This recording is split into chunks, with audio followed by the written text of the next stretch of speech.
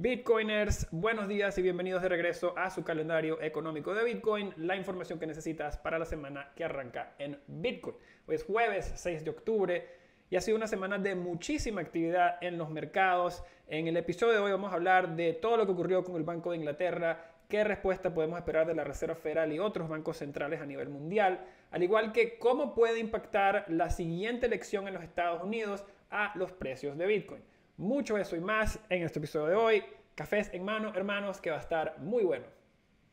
Hay un refrán que dice, hay décadas en las que no ocurre nada y luego hay semanas en las que décadas ocurren. Y este sentimiento creo que ha sido cierto, especialmente esta última semana, con todo lo que ha ocurrido, en gran parte originado por lo que ocurrió en Inglaterra y la reacción del Banco Central de Inglaterra. Vamos a hablar un segundo de esto.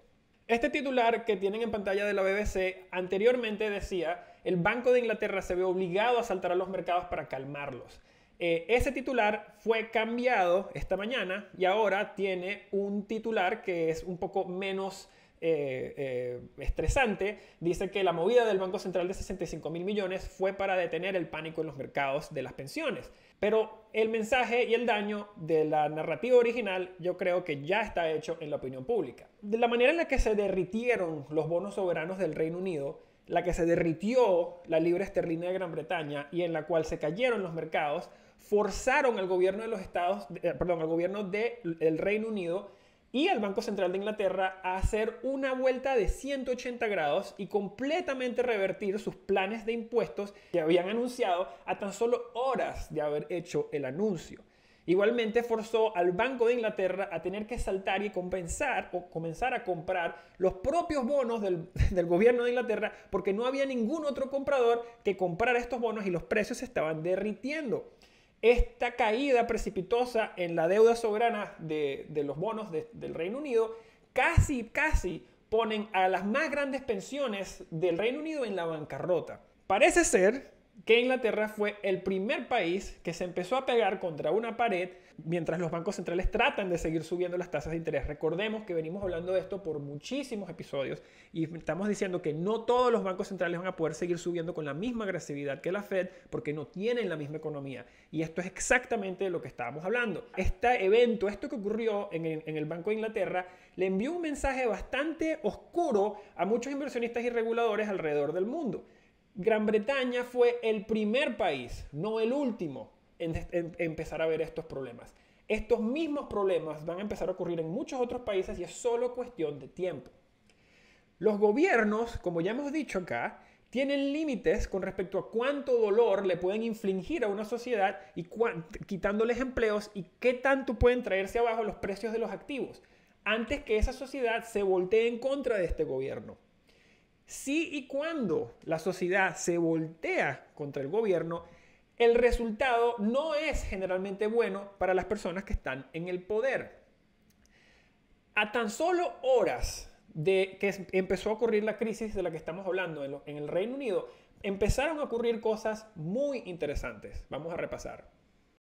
En cuestión de horas de haber hecho el anuncio en Inglaterra y cuando empezaron a caerse los mercados, las Naciones Unidas emitió un titular diciendo, y como reporta Fox, las Naciones Unidas le urge a la Reserva Federal que pause los incrementos de las tasas de interés para detener o para frenar los miedos de una recesión global. Palabras muy fuertes de las Naciones Unidas que muy pocas veces se expresan en contra de un banco central. El segundo eh, mensaje muy fuerte que se envió fue el de los analistas de Bank of America, quienes reportaron la semana pasada que los analistas de Bank of America están sonando las alarmas de que la Reserva Federal está subiendo las tasas de interés muy alto y muy rápido y está poniendo en un gran riesgo una gran recesión. De nuevo, esto no se ve muy comúnmente, que un, que un banco de esta, de esta envergadura se le pare enfrente al Banco Central diciéndole que no está haciendo lo correcto. El tercer anuncio que se hizo, que fue igualmente interesante, fue el legendario inversionista Ray Dalio, quien famosamente había dicho hace tres meses que el cash era basura. Básicamente colocó un titular y fue cubierto por todas las publicaciones prácticamente del media financiera, diciendo que Ray Dalio cambió de opinión Y él piensa que las tasas de interés en Estados Unidos en el punto actual están justas y que en base a estas tasas justas él cree que ya el efectivo no es basura. Él piensa que el efectivo ahora tiene un precio justo. Estos tres titulares básicamente dicen la misma cosa. Los bancos centrales están subiendo las tasas muy rápido y muy alto y van a haber serias consecuencias si continúan haciéndolo al ritmo que van. Para ponerlo de una manera más clara, la instabilidad económica muy rápidamente se puede convertir en inestabilidad política. Cuando las personas tienen hambre o cuando las personas están molestas, se vuelven muy susceptibles a cualquier tipo de campaña o, eh, propuesta populista. Y este tipo de propuestas populistas tiende a alimentar la fuerza y el poder que tienen las fuerzas, los, polos, los partidos políticos que están en los polos más extremos del espectro político, lo cual crea más inestabilidad política. Así que bueno, vamos a hablar un poco de cómo reaccionaron los mercados a base de todas estas eh, alarmas que sonaron. A raíz de estas alarmas y estos pronósticos bastante oscuros de estos grupos, los mercados reaccionaron bastante positivos a esta presión pública que se le está ejerciendo ahora en contra de los bancos centrales. El SP500 está 5% más alto ahora de lo que estaba la semana pasada. Igualmente, la tasa de interés en el bono de 10 años de Estados Unidos cayó por el 5% desde el mismo periodo. De acuerdo a un oficial de la Fed, Rafael Bostich, él piensa que su punto base de partida, esto es antes de que ocurriera todo esto, era que iba a haber un incremento de 75 puntos base en la reunión de noviembre y 50 puntos base en la reunión de diciembre. Lo que ha cambiado es que ahora, hace una semana, más del 75% de los inversionistas, según la herramienta FedWatch del CME, pensaban que lo que dice el señor Bostich era en efecto lo que iba a ocurrir. Pero hemos visto que a raíz de lo que pasó la semana pasada, los inversionistas le están asignando menores probabilidades a este evento. Ahora fue de 75% a por debajo del 65%.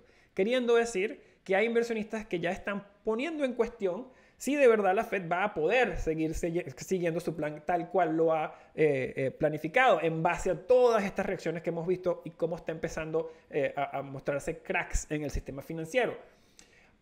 Al parecer, este espacio fiscal que tenían los bancos centrales, el espacio fiscal no es más que la capacidad que tiene un banco central de cambiar la política monetaria sin afectar el equilibrio político que hay en el país. Este espacio fiscal que tenían los bancos centrales se está cerrando muy rápido está, y ya se ha vuelto excesivamente pequeño. La opinión pública está empezando a llegar a su límite. Y como vamos a hablar en la siguiente sección, tenemos unas elecciones en los Estados Unidos ahorita importantemente y esto también puede impactar a los mercados. Eso lo vamos a cubrir en la próxima sección. Y sí, acá hablamos mucho de la Reserva Federal porque, bueno, controlan el precio del dinero eh, al controlar las tasas de interés en la economía y también controlan la cantidad de dinero que hay en la economía a través de la masa monetaria, monitoreando y controlando la cantidad de efectivo y reservas que hay en el sistema. Sin embargo, la Fed no controla todo y las empresas públicas o privadas son dueñas de su propio destino al poder manejar las ganancias que tienen y también cómo llevar o manejar su, empresa de una manera sostenible, sin importar las tasas de interés o las cambiantes tasas de interés en el ambiente. Más allá de la Fed, el próximo catalizador para los mercados capitales va a ser la temporada de reportes de ganancias para el tercer cuarto que arranca en dos semanas en los Estados Unidos. Hablando de una manera general, eh, hay sectores en la economía que se benefician más que otros del ambiente actual en tanto tasas de intereses como inflación como precios de diferentes commodities. Dos ejemplos de estos sectores que se benefician sería la banca, la cual se beneficia de las tasas de interés más altas, y el sector de la energía, la cual se ha beneficiado muchísimo de los altísimos precios del petróleo y del gas natural, y eso lo pueden ver reflejado en este titular de Exxon. Hace pocos días Exxon señala que va a tener muy buenas ganancias en el tercer cuarto en base a estos altísimos precios que hemos visto del gas natural y del petróleo, que no es sorprendente.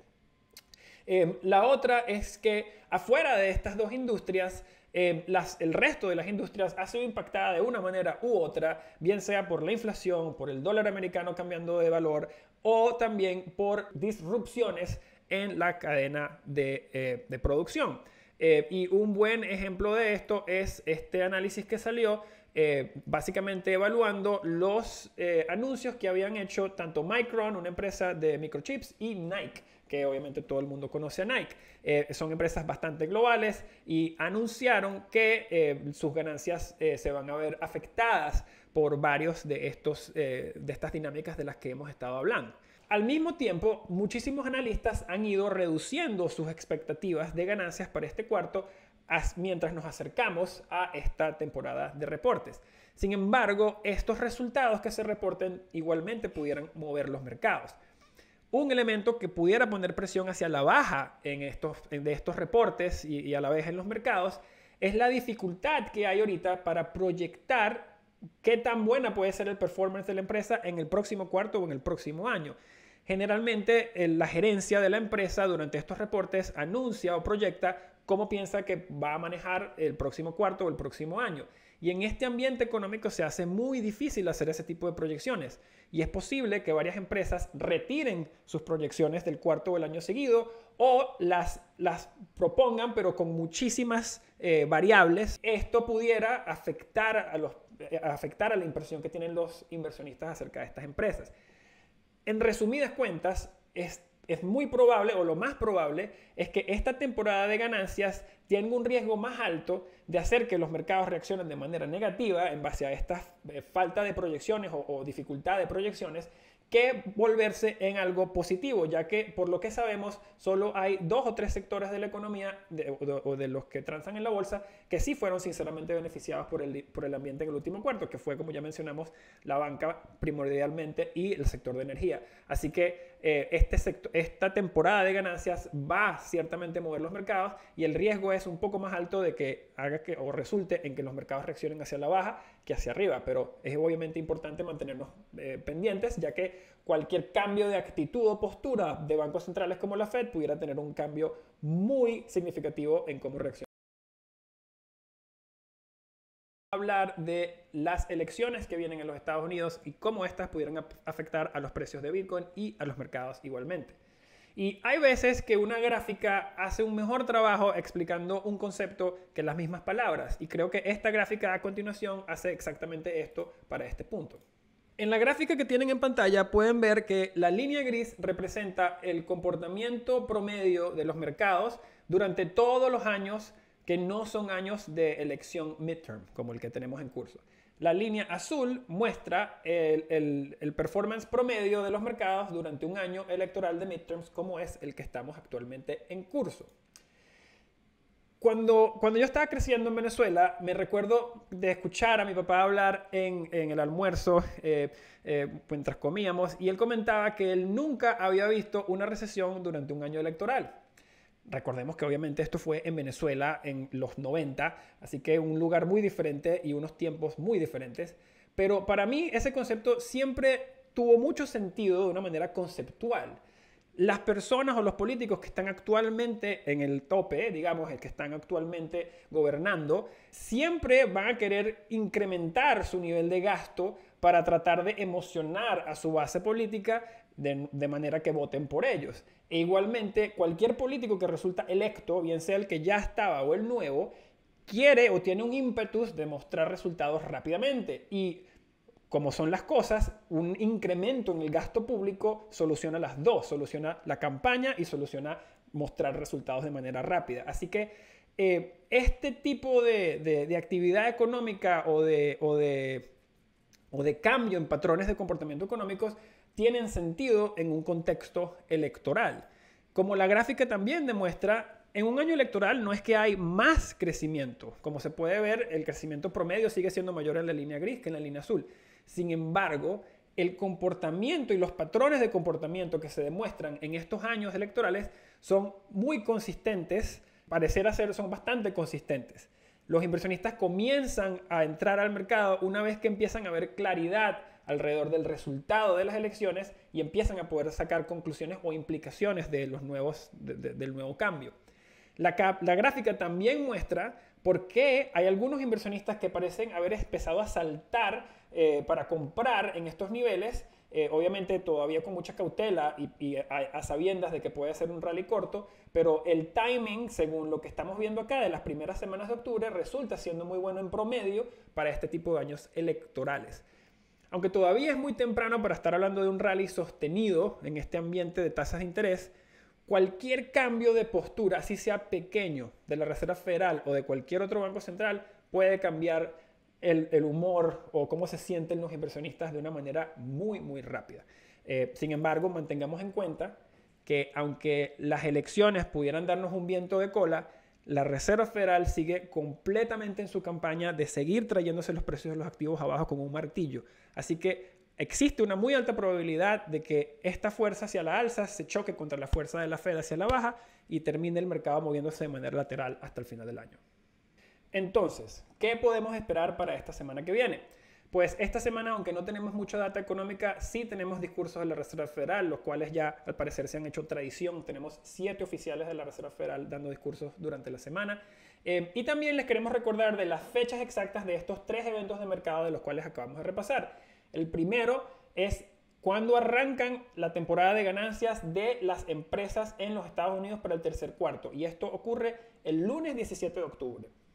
Eh, el segundo evento es la reunión de la Reserva Federal para el mes de noviembre, la cual ocurre el 2 de noviembre del 2022. Y la tercera es eh, las elecciones de midterm en los Estados Unidos, las cuales ocurren el 8 de noviembre del 2022. Como pueden ver, en estos 35 días hay una cantidad enorme de eventos que puedan mover los mercados, así que es muy importante mantenerse al tanto y obviamente seguiremos reportando de cómo van evolucionando todos estos, eh, todos estos eventos. Habiendo cubierto todo eso, vamos a repasar cuándo podemos esperar estos, estos discursos de la Fed. A, miércoles a las 4 de la tarde, Rafael Bostich. El jueves tenemos a eh, Loretta Mester, Lisa Cook y de nuevo Loretta Mester a las 8, 1 y 6 de la tarde. Eh, así que esto es el día jueves. Y el día viernes tenemos tres discursos más de la Fed. A las 4 de la, 4 eh, de la tarde, 5 de la tarde y otro a las 11 de la mañana. Y estos son John Williams, Neil Kashkari y Chris Waller. Recordemos que todos estos discursos tienen el potencial de mover los mercados, así que nos mantendremos al tanto. Con esto llegamos al final del show de hoy. Muchísimas gracias por, mantenerse con nosotros. Si disfrutaron el show, si aprendieron algo, si se rieron, les invito a que le den manito arriba, abajo, se suscriban a nuestro canal, lo compartan con sus amigos y nos ayuden a llegar a cada vez más personas. Si no tienen una cuenta en Leden, los invito a que visiten leden.io y aprendan cómo pueden empezar a ganar hasta 8% en sus dólares digitales y hasta 5,25% en sus Bitcoin. Y también tenemos créditos respaldados por Bitcoin si necesitan dólares y no quieren vender su Bitcoin. Y nuestro más reciente producto, la hipoteca de Bitcoin, te deja comprar una casa tan grande como tu stack. Con eso llegamos al final del show. Los quiero muchísimo y nos vemos la semana que viene.